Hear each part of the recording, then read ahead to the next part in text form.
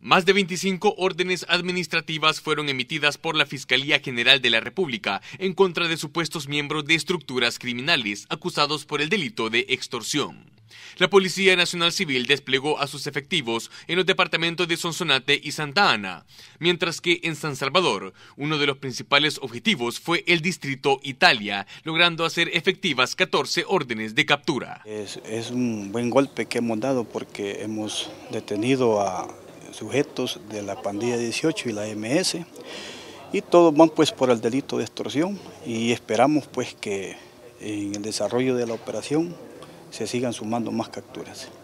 Es importante la denuncia. Según las investigaciones de las autoridades de seguridad, los supuestos criminales se encargaban de extorsionar a comerciantes del sector, quienes pagaban entre 50 a 200 dólares mensuales, mientras que las mujeres que fueron capturadas se encargaban de cobrar la denominada renta. Invitamos a la ciudadanía que si, si algunos rostros les parecen conocidos, pues este, que pongan la, la denuncia a la a la policía más cercana y estamos nosotros para atenderlos.